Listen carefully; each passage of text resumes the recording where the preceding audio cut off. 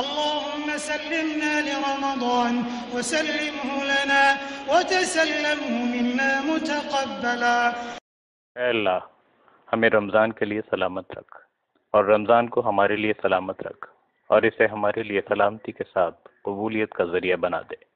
اللهم اجعله شهر عز للإسلام والمسلمين.